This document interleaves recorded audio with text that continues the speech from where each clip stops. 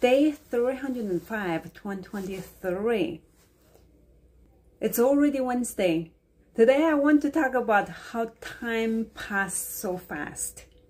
Tonight we just booked our skiing trip. I still remember it was as if yesterday. And uh, when I was at my Kung Fu class, we were also discussing how time went so fast especially when we are older, when we are adults, we, we find time is just not enough. And a year is like a blink of time. It's so fast. But when we were young, when we were kids, we wanted time to go fast because we wanted to grow, grow faster and grow older, grow independent. But when we are older and adults, we want time to slow down. Have you realized that?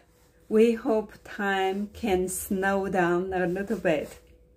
That's today's thought. We can't really make the time to stop for anyone. We own the same amount of time, no matter we want the time to go fast or want the time to go slow. We only have the same amount of time. What we can do is just do the best when we are awake and try to make a, the difference or just uh, trying to stay healthy and happy enjoy it every minute we can enjoy see you tomorrow. Bye